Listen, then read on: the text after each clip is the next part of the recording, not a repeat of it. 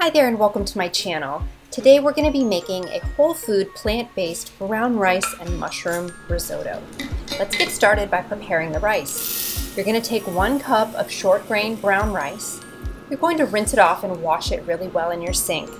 And then you're going to add the washed rice to a dry pan and you're going to toast it until it turns a little bit golden brown and starts to have a nice nutty aroma.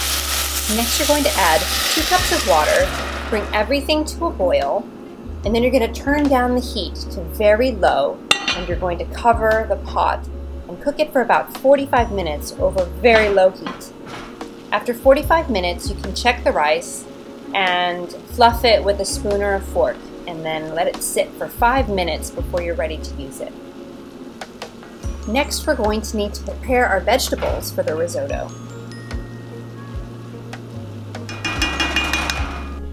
Start by taking one leek and you're going to wash it and then split it lengthwise down the middle. And then you're going to take each half and you're going to slice them into fine and thin half moons. You're going to do this to the whole leek. And then you're going to set it aside until you're ready to cook the risotto. Next, you're going to take about one pint of mushrooms and you're going to wash and quarter all of the mushrooms. You can use any kind of mushrooms you like. I used button mushrooms in this recipe. And I like to have nice big meaty pieces of mushrooms, so don't cut them too small. You're going to put those mushrooms in a bowl and set them aside again until you're ready to cook. Then you're going to take one peeled clove of garlic and you're going to mince it as finely as you can.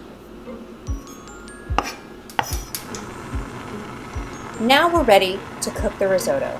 Take about 3 to 4 tablespoons of water and you're going to put them in a saute pan. You're going to add your garlic and leek and you're going to turn up the heat and bring the water to a simmer. Then you're going to add your chopped mushrooms and you're going to do what's called water sauteing all of your vegetables. This is cooking without oil. You're going to do that until they're tender and then you're going to add about a cup of your brown rice to the mixture. Then you're going to add any kind of non-dairy milk. I'm using oat milk in this case. You're going to add one tablespoon of nutritional yeast and about half a tablespoon of tamari. Then you're going to bring this mixture to a simmer and you're going to cook it just until it's nice and creamy and thick. Towards the end of the cooking time, you're going to add a couple of cups of chopped chard, or any green, you could use kale if you'd like, and voila, your risotto is ready to serve. Thank you so much for watching. And if you enjoyed this whole food plant-based video, please give a thumbs up to the video and subscribe to my channel for more delicious plant-based food.